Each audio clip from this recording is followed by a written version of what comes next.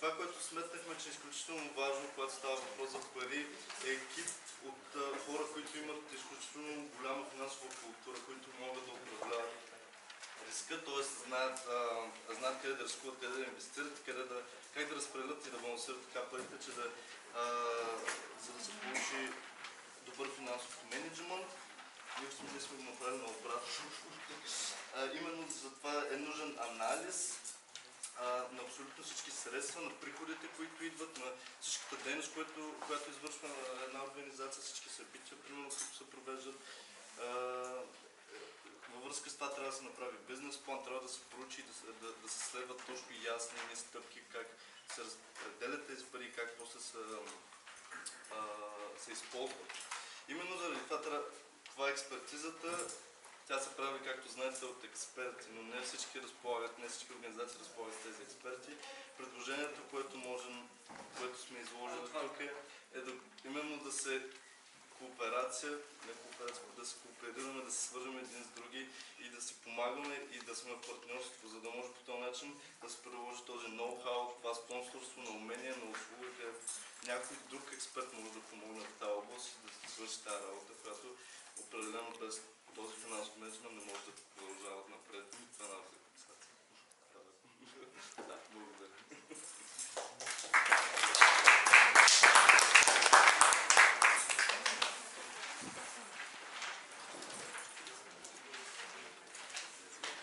Нашата група е изключително фокусирана върху финансовите ресурси и средствата, които а, са необходими на младежките организации за да се развиват. А, акцент на нашата работа с Младен, нали така? Милен, извинявайте, аз съм Диляна, е Милен, е спонсорството. И какви са възможностите за набиране на средства чрез спонсорство. Ние сме ги разделили на пет категории. Първо, създаване на контакти с малки и средни предприятия. Говорихме, че е добре да имаме едно много а, подредено портфолио с нашите успехи, с нашите добри практики, с което да отидем да представим на фирмите и да поискаме от тях добавена стойност към нашите дейности. Второто, което е важно, е социално-корпоративната отговорност, която можем да атакуваме. Има два варианта.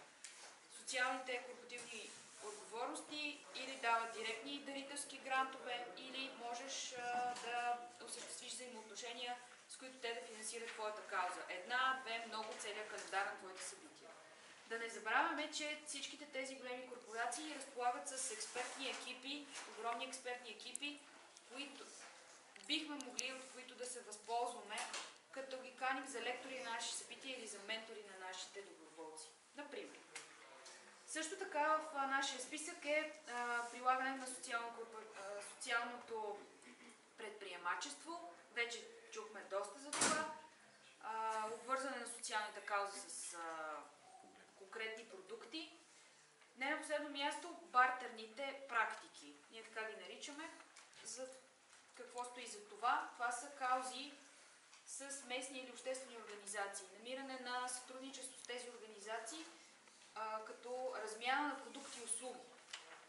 Също така а, можем да каним фирмите по време на наши събития. Видяхме един чудесен пример. Телас International сега е на това събитие. Представете си да поканите други големи фирми на ваше събитие. И последно пиар акциите, естествено, вестници, изписания, телевизии, социални медии, всичко, което можем да използваме и което нематериален ресурс да привлечем към нашата дейност. На нашата група, на, не сме приключили, на нашата група се падна, че сега да разгледаме още едно препятствие, а, предизвикателство, което е капацитет и човешки ресурси. А, първото, първото, първата стъпка, която ние предприехме е инвестиция в а, човешкия капитал, което се състои в а, обучения, намиране на а, квалифициран а, персонал, също така сплотяване на екипа чрез тимбилдинги и а, доброволчески програми, които да провокират интереса към а, нашата организация. А, втората стъпка е стратегическо планиране. А, трябва да направим един предварителен анализ, за да се запознаем с това всеки един от нашите членове с какви умения и квалификации а, притежава, за да му отредим а, специфична работа, отговорност и права. По време на нашата работа ние трябва да правим точен анализ и да следим на коя стъпка от самия процес сме, а, чрез мониторинг и също така да обобщим и да видим резултатите в края на процеса. Третата стъпка е популяризация чрез пиар акции, социални мрежи, а, промотиране а, и, и партньорства с други дружества. Благодаря за вниманието.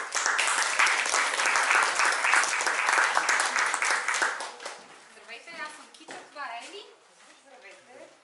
Нашият, нашето предизвикателство е устойчивост на дейността. Като първо решение ние сме дали екипа, ще бъдем а, малко по-изчерпателни, по-бързи.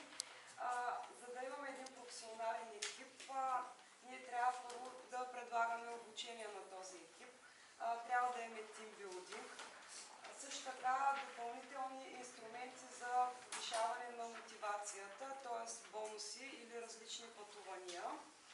А, Обучение за квалификация е не на последно място.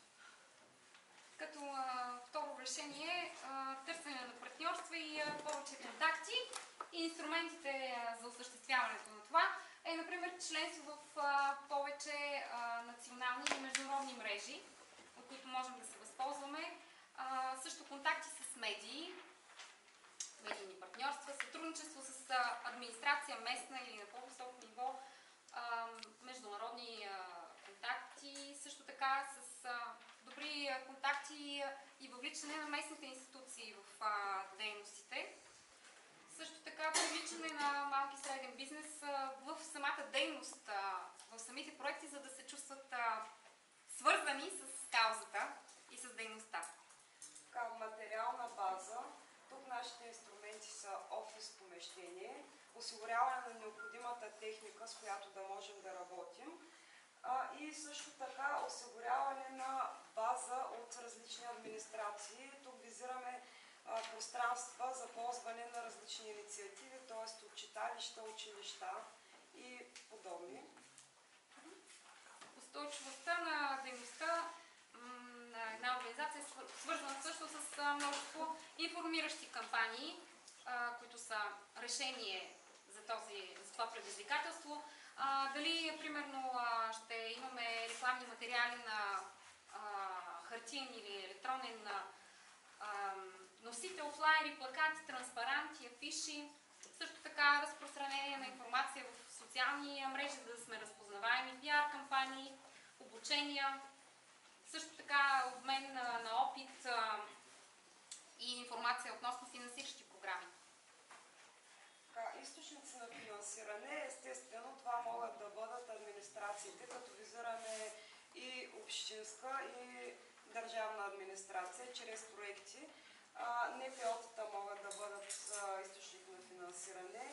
А, друго като... Търсене на информация също за допълнителни а, финансиращи програми, Местният бизнес. фандрейзинг, да, бизнес, също медийни партньорства и а, някои от нещата, които вече бяха споменати. Фандрейзинг, социална корпоративна отговорност, предприемачество.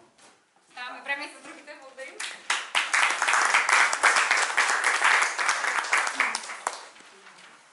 Здравейте, ние сме Галя и Диана. А, Предизвикателството, а, за което ние трябваше да намерим решение и съответно инструменти за справяне е популяризиране и информираност на дейността, с която се занимава една организация. А, като, един от, а, като едно от решенията на, този, на това предизвикателство сме стигнали до извода, че полето за изява или разнообразието на каналите за информация. Тук става дума за следното нещо, да комуникираме с повече медии, било то телевизия, ин- интернет, радио, вестници и така нататък, да разпространим по, всички възможни начини информацията за дейността на нашата организация, за проектите, с които се занимаваме, въобще за абсолютно всичко, с рекламни материали също така, онлайн платформи и това е. Другият начин за популяризиране информираност е нарисуването, като за да се постига това трябва да се създаде единна комуникация, като например онлайн платформата, която предишния екип предложиха да се създаде или да се доразвие вече съществуващата, както и да има партньорство и.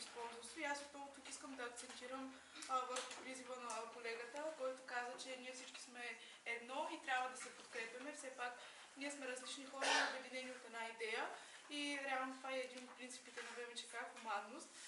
А, тъй, че поколенческият мост е много важен, тъй като а, трябва да, да научим следващото поколение как, че и то трябва да предава щафетата, а не да се бори кой да, е да, да я поеме.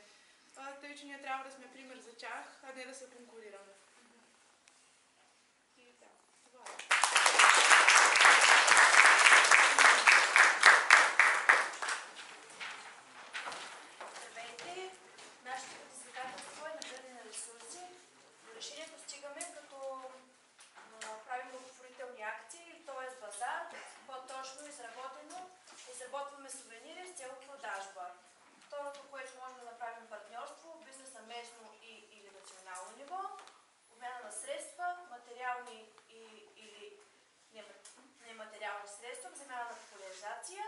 доброволчество, хора, които безвъзмезно полагат труд за дадена кауза или дарения. Благодарим ви, това беше